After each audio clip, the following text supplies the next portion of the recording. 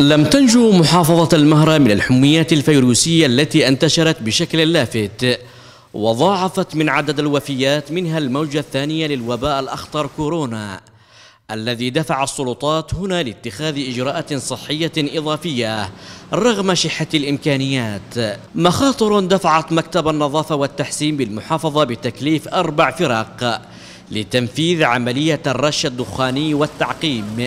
للأماكن الأكثر ازدحاما أبرزها المدارس والمساجد لمدة 15 يوما. فريق من صندوق النظافة لقوم برش. المساجد والمدارس بشكل يومي من من الساعة الواحدة والنص إلى الساعة الخامسة. نقوم برش المدارس يوميا يعني بشكل يومي. ونشكر صندوق النظافة في محافظة المهرة مديرية الغيضة على استعداداتهم للفيروس الخطير فيروس كورونا وسلاسل وسلالة كورونا.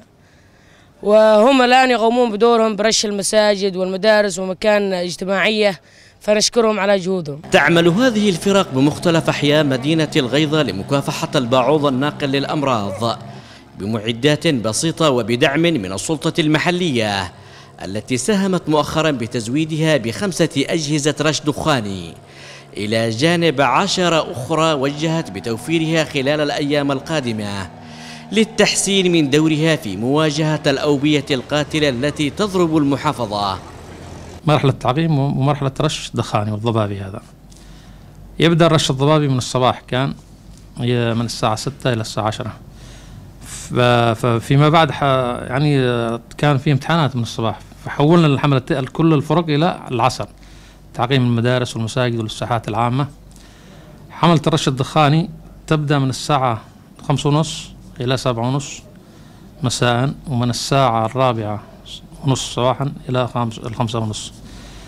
آه، لقينا دعم من الأخ المحافظ ب 15 مرشح خمسة وصلت وعشرة إن شاء الله جاي في الطريق إن شاء الله. تأتي هذه الجهود كترجمة فعلية لمخرجات لجنة الطوارئ بالمحافظة التي أقرت تكثيف حملات التعقيم بعد ارتفاع تسجيل عدد الإصابات والوفيات بسبب فيروس كورونا.